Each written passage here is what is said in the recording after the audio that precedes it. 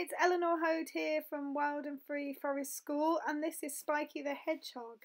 He was a hedgehog that was found in Handsworth Wood injured and um, actually running in the road looking a little bit distressed. On closer inspection he had a nasty cut to his face, to his eye and his nose. Um, so we put him in a shoebox and took him to the nearest hedgehog rescue called Hogfields um, which is over in Great Barr.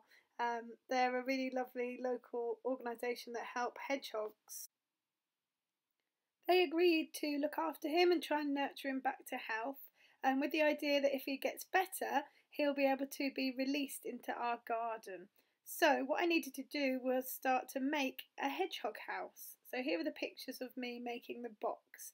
So, I used scrap wood and battens to make the side pieces of the box.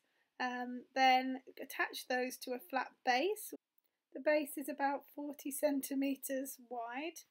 Um, the sides are going on, just screwing them on with some good hard wearing outdoor screws. I bat on the base to raise it up off the ground, just to stop it getting too damp. Um, I'm attaching the sides on now, that's the third side going on. now it's time to make the internal wall.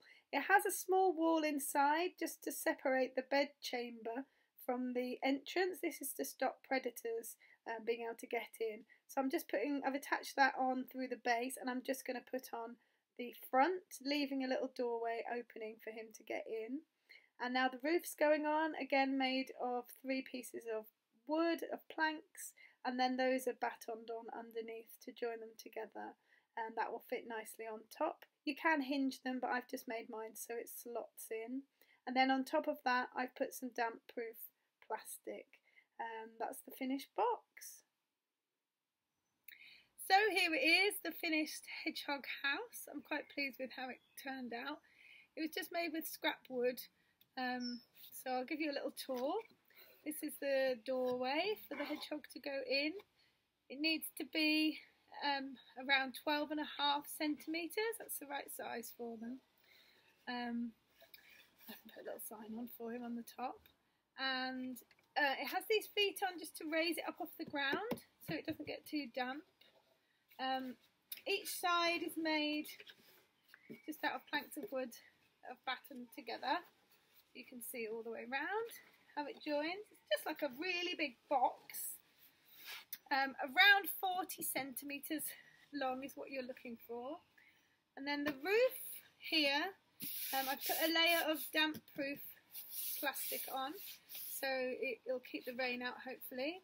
Some people put these on hinges but I've just done it as a lift off lid and then inside you can see um, the two sections. So this piece is where he would come in and then this side would be the sleeping compartment.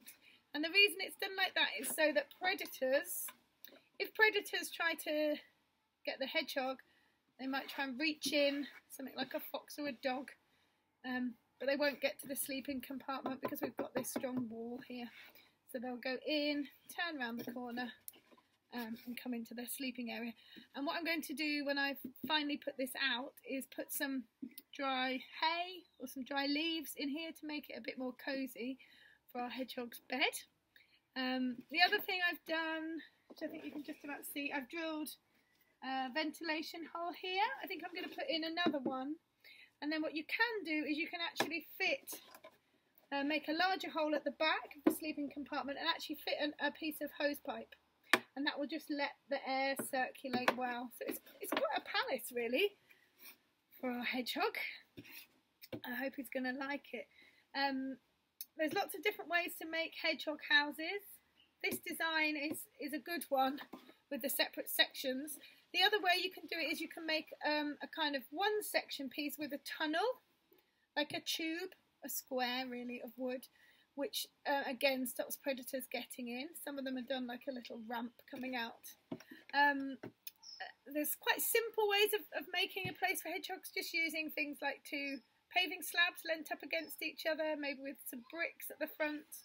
Um, I've seen ones done with plastic boxes with lids put on top, some air holes drilled, a hole cut at the front, and then a piece of pipe put in for them to go in.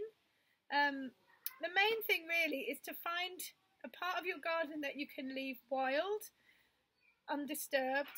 Um, they like to have the entrance to their home kind of near a fence, not exposed in the centre of the garden, so kind of tucked in away in a corner or at an edge. Um, and they like to have it kind of surrounded by wood and leaves and natural materials so it's kind of hidden away and feels safe and secure for them. Um, like I say, raised up a little bit off the ground and with a waterproof layer is really helpful. It protects them. So when we hopefully get our hedgehog back from the hedgehog hospital, um, I'll show you what happens when he comes here. If he does, if he recovers, if he's well enough. If not, we'll just put this um, hedgehog box out into the garden anyway, and I'll show you where I put it. Um, and then we'll see. We might we might get another hedgehog moving in.